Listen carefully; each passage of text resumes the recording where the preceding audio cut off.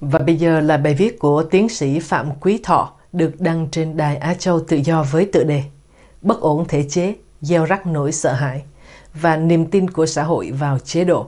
Kính mời quý vị cùng theo dõi.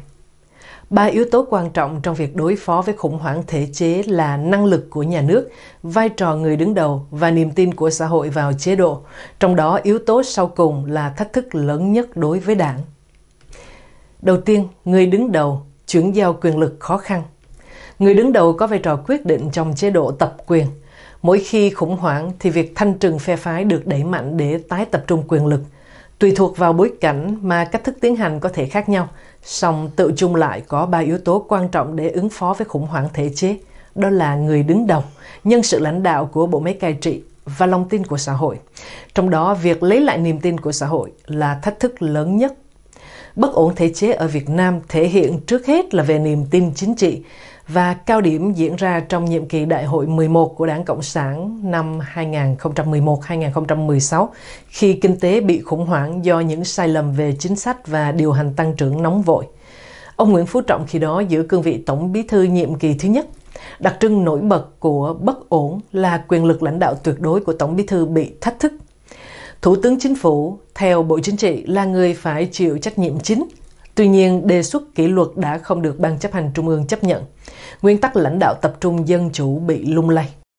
Ông Tổng bí thư Nguyễn Phú Trọng, người lãnh đạo kỳ cựu, có thâm niên Bộ Chính trị và tứ trụ lâu chỉ sau cố Tổng bí thư Lê Duẩn, người đã ứng phó thành công với bất ổn bằng cách vận dụng các quy định phức tạp Bản lĩnh và kinh nghiệm chính trường đã giúp ông tái đắc cử chức vụ Tổng bí thư đảng ở nhiệm kỳ thứ hai từ năm 2016 đến năm 2021, dù đã quá giới hạn quy định về tuổi.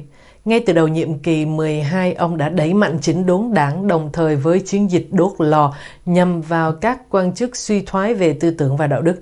Điều đó giúp ông tiếp tục tại vị trong nhiệm kỳ lần thứ ba hiện nay, từ năm 2021 đến năm 2026. Ông đã vượt qua cả giới hạn hai nhiệm kỳ được ghi trong điều lệ đảng với tư cách là trường hợp đặc biệt của đặc biệt. Tuy nhiên, ông không thể lãnh đạo mãi vì lý do tuổi tác và sức khỏe. Bởi vậy, việc chuyển giao cương vị Tổng bí thư sẽ không tránh khỏi, nhưng cho ai vẫn còn là ẩn số.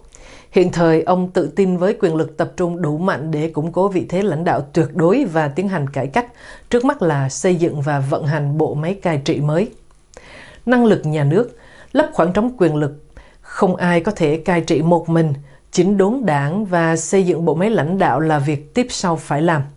Đảng nhận định thực trạng suy thoái về đạo đức và lối sống của bộ phận không nhỏ quan chức trong bộ máy là nghiêm trọng. Ăn của dân không từ cái gì đến mức đe dọa sự tồn vong của chế độ.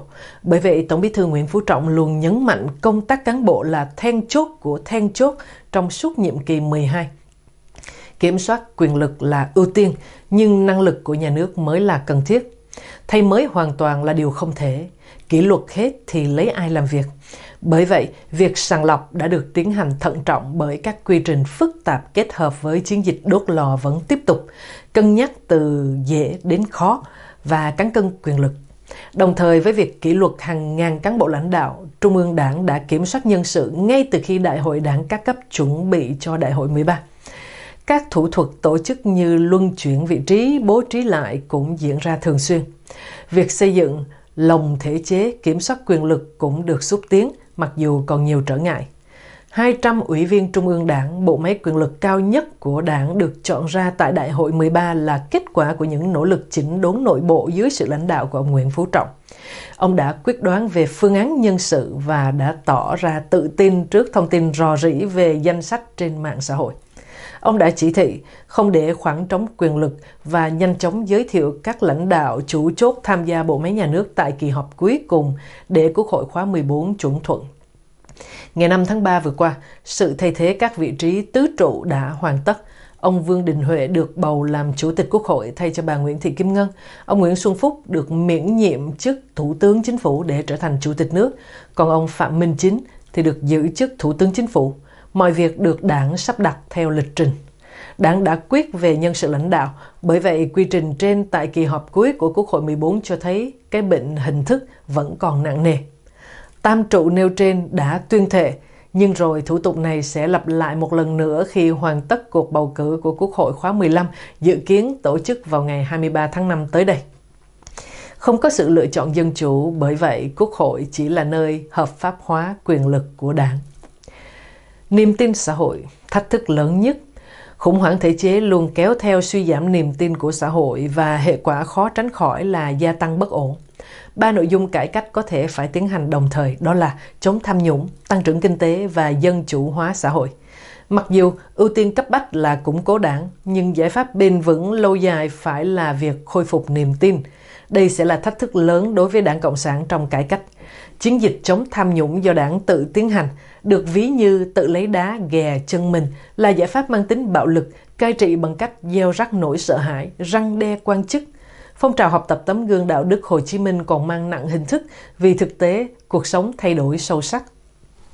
Chiến dịch đốt lò mang lại kết quả tức thì, nhìn thấy được có thể xoa dịu sự bức xúc của người dân và đem lại chút hy vọng về sự thay đổi, nhưng không thể khôi phục niềm tin của xã hội tự kiểm soát, tha hóa quyền lực, thiếu thể chế đối trọng chính trị và cơ chế giải trình trách nhiệm công khai minh bạch của chính quyền. Người dân đứng ngoài cuộc, đó chính là những yếu tố bất ổn thấy trước của cái chính sách này. Có bao nhiêu hiện tượng phản ánh sự giảm sút niềm tin xã hội thì có từng ấy cách để đánh mất nó. Nguyên nhân chủ yếu là sự tha hóa quyền lực công, trong đó sự lạm dụng bạo lực có thể gây nên hậu quả nghiêm trọng. Sự cố đồng tâm xảy ra vào đầu năm 2020 là minh chứng. Từ những bức xúc với chính quyền về thực thi chính sách đất đai và cách giải quyết xung đột, một số nông dân thôn Hoành, xã Đồng Tâm đã tự lập tổ đồng thuận chống tham nhũng với vai trò thủ lĩnh của cụ Lê Đình Kình, đảng viên với gần 60 năm tuổi đảng. Như đã biết thì sau sự đàn áp của chính quyền, kết cục là những cái chết kinh hoàng và nhiều án tử hình tù đầy nặng nề.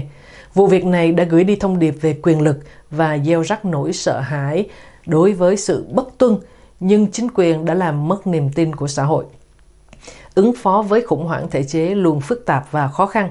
Tập trung quyền lực và củng cố bộ máy cai trị là công việc cấp thiết để duy trì chế độ. Tuy nhiên, cả hệ thống chính trị phụ thuộc vào người đứng đầu dễ tạo nguy cơ độc đoán. Duy trì bộ máy trung thành buộc phải ban phát đặc quyền đặc lợi xây dựng nhà nước tập trung mạnh có thể làm cho các công dân nhỏ đi. Đại biểu Quốc hội khóa 14 Dương Trung Quốc sau 20 năm hoạt động, nghị trường đã phát biểu lần cuối cùng tại nghị trường của kỳ họp thứ 11 rằng, hoạt động quốc hội đã thụt lùi về dân chủ so với quốc hội khóa 1 của nước Việt Nam Dân Chủ Cộng Hòa trước đây. Một trong những món nợ dân chủ mà quốc hội phải trả đó là việc thực hiện hóa những quyền tự do cơ bản của công dân đã được hiến định từ năm 2013 nhưng đã luôn bị trì hoãn. Chỉ khi người dân được tham gia thực chất vào hoạt động của chính quyền thì niềm tin của xã hội mới có hy vọng trở lại.